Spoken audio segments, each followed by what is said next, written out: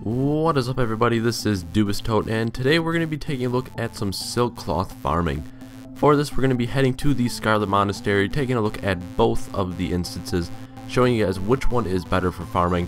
And they're both decent I guess you could say, but one is definitely better than the other, so let's go ahead and take a look at this.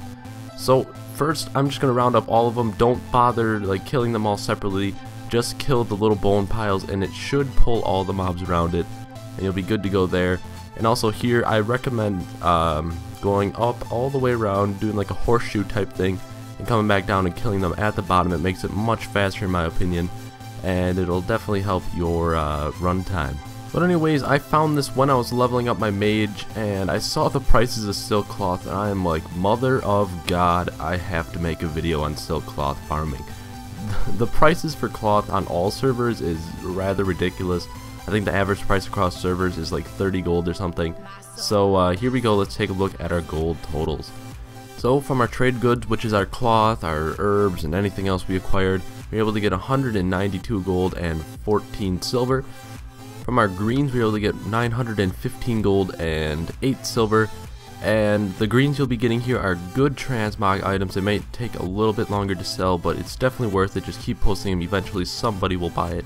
And from our trash items, we are able to get 2 gold and 58 silver, which really isn't too much. And then from our gold drop, we are able to get uh, less than 1 gold, but I just rounded it up to make myself feel good. So anyways, if you total that all together, you get 1,111 gold and 52 silver, which if you do your 5 runs would get you 5,557 gold and 6 silver, which is insanely good based on how easy this instance is. So here we go, let's take a look at the armory side. Uh, the armory is on the right side, the graveyard which we just did is on the left when you are in the Scarlet Monastery. I should have distinguished that earlier but uh, gladly I remembered it now. But anyways, you're just going to be going through pulling it like you would any other instance. There's no tricks to it that I have found yet. Maybe somebody will uh, post a trick in the comment below. I hope so, because in the last video somebody posted a comment that probably saved everybody a lot of time. Uh, but anyways, here we go, finishing it up, picking up those little gold piles, which are pretty significant for our cash drop. But anyways, here we go and take a look at our gold totals. From our trade goods, we are able to get 113 gold and 99 silver. From our greens, 328 gold and 96 silver. From our trash, 2 gold and 57 silver. And from our plain gold drop, 4 gold. That's a rounded up number. And like I mentioned before, those little gold piles on the ground each have about 1 gold in them. So it is a nice little boost. Anyways, if you add that all up, it gets you about 449 gold and 52 silver. And if you multiply that by 5 to get your runs per hour, you would be able to get 2,247 gold and 6 silver, which is ridiculous for how easy this instance is. So if you would take those and add them all together, you would get 7,805 gold and 2 silver in just an hour, maybe less depending on how quickly you can finish this, of farming this instance. Like I mentioned, this instance is extremely easy. You could probably do it at level 60. I, you know, it would be close. But go ahead and give it a try. Let me know how that works out for you. uh, but anyways, that is an insanely good amount of gold for such an easy instance and such little work.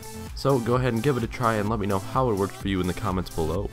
So anyways, there are two videos up on the screen. On the left is my last video, which was a farming guide for the Magister's Terrace instance which was a very good video. People really liked it, so go ahead and give that a look.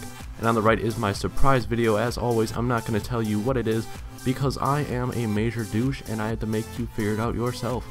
But anyways, on the bottom left is a link to subscribe to my channel. I post gold guides every Thursday, so if you want to see all of them, make sure to subscribe so you don't miss a video. And on the bottom right is a link to my playlist where you can see all of my WoW gold guides. Uh, it'll take you all the way back to my oldest ones, which are pretty embarrassing to watch, but I put them in there just for the shits and giggles.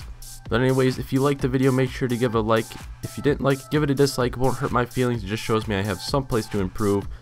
And as always, this has been Dubisttot, and see you guys later.